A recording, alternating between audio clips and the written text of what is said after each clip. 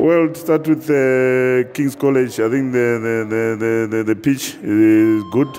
The surface is very good, though it's a very small pitch, uh, which will make it a little bit difficult for us to prepare properly.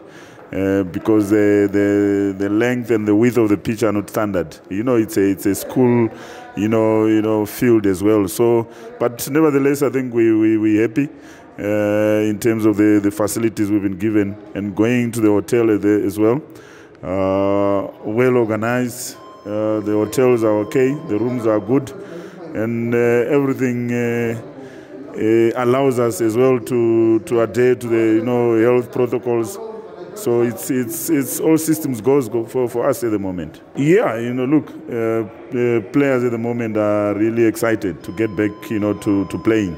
And I think this is an opportunity for them to show, you know, appreciation, you know, to appreciate uh, what is the work that has been put, you know, behind the scenes, you know, for us to get back to playing. And I think this gives them an opportunity to do that.